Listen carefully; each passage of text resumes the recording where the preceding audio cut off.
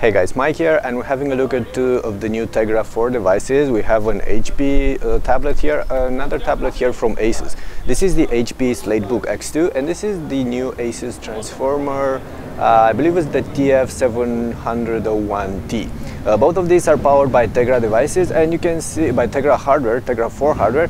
Both of these are powered by Tegra 4 hardware and you can see that both come with these docking units but at the end of the, the day both of these are tablets. So uh, we're not going to um, we're not going to focus on uh, on the looks or or the specs, but we we will tell you a couple of things about uh, about the hardware. So like I said, Tegra 4 processors uh, should be quite powerful, and uh, that should be should be visible in games and uh, and all this kind of stuff. Uh, we will show you a little bit later how how the games are looking, um, but we have to get inside because over here it's a little bit brighter.